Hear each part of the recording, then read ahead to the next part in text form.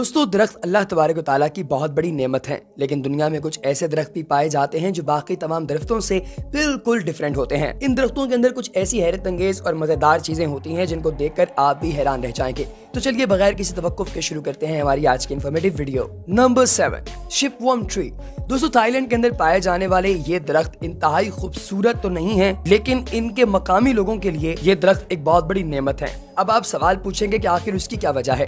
दोस्तों थाईलैंड के सूबे धिरू के अंदर ये लंबे लंबे शाखों वाले श्रब्स जो ट्रीज की एक छोटी फॉर्म होती है, इसके अंदर अजीबो गरीब किस्म के सुराख पाए जाते हैं, जो काटने पर आपको दिखाई देते हैं। लेकिन इससे भी ज़्यादा क्रीपी बात यह है कि इनके अंदर एक लंबे लंबे जिसामत वाले वर्म्स का ठिकाना होता है। ये वर्म्स दिखने में बहुत ही क्रीपी तो लगते हैं, लेकिन मकामी लोग इसे खाते हैं। जी हाँ दोस्तों, वो कभी इसका सर काट कर कभी पका कर और अभी कच्चा इन वर्म्स को खाते हैं और इन्हें खाने के लिए खसूसी तौर पर इस एरिया के अंदर आकर इन दरख्तों को काटते हैं और उसके बाद इन वर्म्स को अपने साथ ले जाते हैं। ये वर्म्स नमकीन पानी में रहने वाले हैं, जो कि होल बनाकर इन दरख्तों के अंदर घुस जाते हैं और इसकी लकड़ी खाकर अपना गुजारा करते हैं।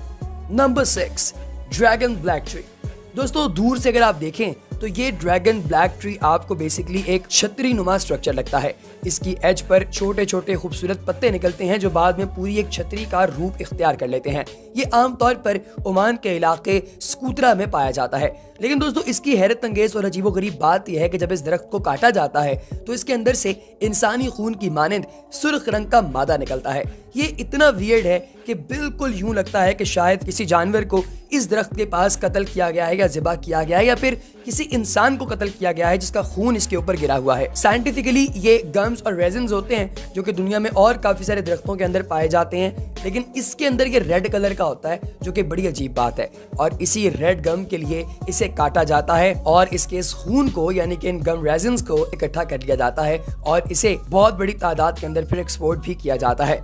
नंबर फाइव रेनबो एक्लिप्टस दोस्तों, आप लोगों ने बड़े खूबसूरत दरख्त वगैरह देखे होंगे, पौधे देखे होंगे, पत्ते देखे होंगे, लेकिन आपने मल्टी कलर यानी रेनबो नुमा बहुत कम दरख्त देखे होंगे जिनका तना रेनबो नुमा होता है। दोस्तों फिलीपाइंस के अंदर और एशिया के अंदर ये जो पौधे जिनका मैं आपके सामने ज़िक्र कर रहा हूँ, जिनको रेनबो इक्लिप्टिस कहा जाता है, ये पाए जाते हैं, जिनका कद तकरीबन 250 फीट होता है। दोस्तों, इनकी सबसे टॉप लेयर ऑरेंज कलर की होती है। लेकिन जैसे ही आप इसकी ऑरेंज लेयर को उतारते हैं तो नीचे से मल्टी कलर्स निकलते हैं। दोस्तों, इसके अंदर विपग्योर कलर्स होते हैं, यानी कि violet indigo blue green yellow orange और रेड ये एज के हिसाब से अपना रंग तब्दील करता रहता है। Number four Tibetan cherry tree दोस्तों, चाइना के इलाके तिब्बत के अंदर पाए जाने वाला ये खूबसूरत दरख्त दिखने में इतना खूबसूरत लग रहा है कि आप लोग इसे हाथ लगाना चाहते हैं। यकीन जानिए, आप इसे वाकई हाथ लगाना चाहेंगे। क्योंकि ये आम दरख्त की तरह खुरदरा नहीं होता, बल्कि बहुत ही स्मूथ और नरम होता है।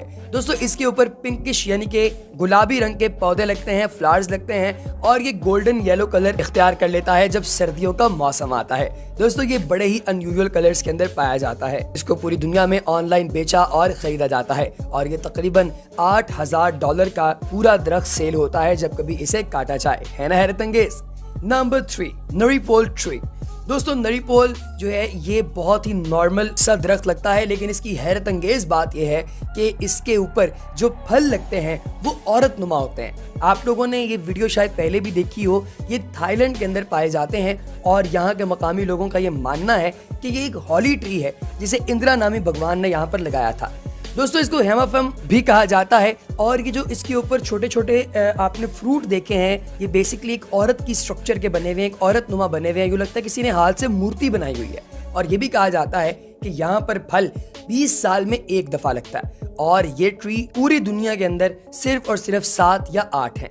दोस्तों, इसके बारे में कुछ लोगों का ये भी मानना है कि ये फेक है, इस तरह का कोई दरख्त नहीं पाया जाता। लोगों ने खुद जानबूझकर इस तरह की चीज़ें बनाकर मार्केट में अपनी वर्थ बनाने की नाकाम कोशिश की है। नंबर टू बबुआब ट्री दोस्तों, ये मोटा ताज़ा दरख्त जो आपको नज़र आ रहा है, इसे यूँ समझें कि ये पौधों का या दरख्तों का पहलवान है। जी हाँ इसका इतना मोटा जिस्म बेसिकली इसलिए होता है ताकि ये पानी को अपने अंदर स्टोर कर सके और बवक्त ज़रूरत इस पानी को इस्तेमाल कर सके। दोस्तों, ये सबसे ज़्यादा अफ्रीका के अंदर पाया जाता है और इसीलिए इसे अफ्रीकन सैंपल भी कहा जाता है। ये हज़ारों साल तक ज़िंदा रह सकता है। साउथ अफ्रीका का एक बबूब तकरीबन छह हज़ार साल तक पुराना है। दोस्तों, इसका जो तना है, वो 36 फीट तक मोटा हो सकता है और ये अपने अंदर तकरीबन एक लाख बीस हज़ार लीटर पानी स्टोर कर सकता है, जिसे बाद में खुश्की के मौसम में इस्तेमाल किया जाएगा। नंबर वन हाइपेरियन दोस्तों, आपने रेडवुड ट्रीज के बारे में तो सुना ही होगा। ये कैलिफ़ोर्निया के अंदर पाए जाते हैं, लेकिन इन दरख्तों की लंबाई वो चीज़ है जो दुनिया में इन्हें सबसे ज़्यादा मुमताज़ करती है। ये लंबे तरीन दरख्त हैं दुनिया के और इनमें एक आम एवरेज ट्री तकरीबन 300 फीट तक लंबा होता है। 2006 में नेशनल पार्क के अंदर अमेरिकन ने कैलिफ़ोर्निया नेशनल पार्क का एक ऐसा ट्री मार्क किया जिसकी जो लंबाई है वो तीन फीट थी।